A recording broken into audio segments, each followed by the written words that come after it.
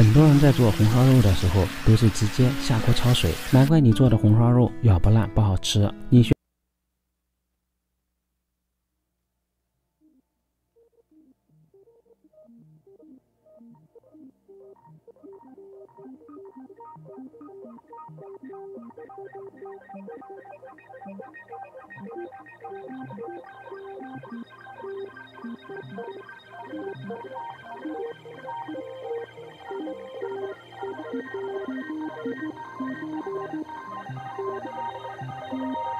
Música